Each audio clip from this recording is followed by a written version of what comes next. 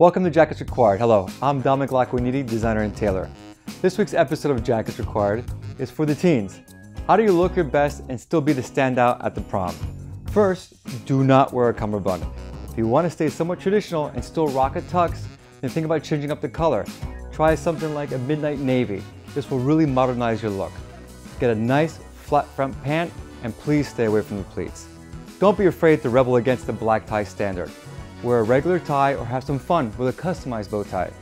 If you're liking the idea of being different, then ditch the tux altogether and go for a nice, custom, modern suit. You'll look light years ahead of all your buddies when it comes down to creating your own style. The key to any of these choices, as I've always said, is going to be about the fit.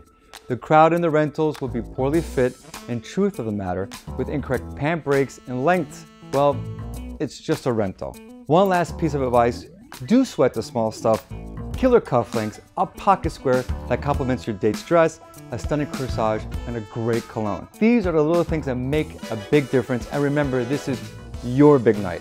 Have fun, and please stay safe out there. Be sure to subscribe to Jackets Required YouTube channel and Facebook page to be notified when new episodes are available, and to see behind the scenes pictures and clips.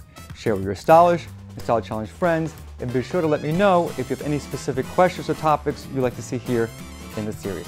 Thanks for watching. See you next week. And remember, looking good is between you and your tailor. Ciao.